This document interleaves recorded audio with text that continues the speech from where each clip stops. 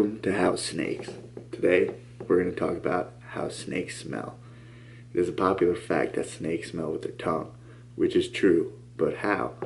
Well, the tongue actually comes out of a tongue sheath, insert weird hand things, comes out through the rostral groove, which is in the front of the mouth, and then picks up tiny particles with those two forks, which it then brings back in to the Jacobson organ, which is kind of like tasting the air to smell it.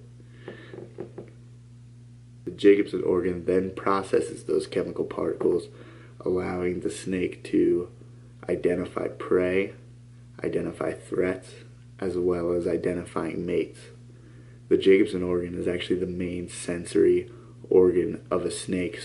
Therefore, its sense of smell is actually the most important aspect because their eyesight isn't good.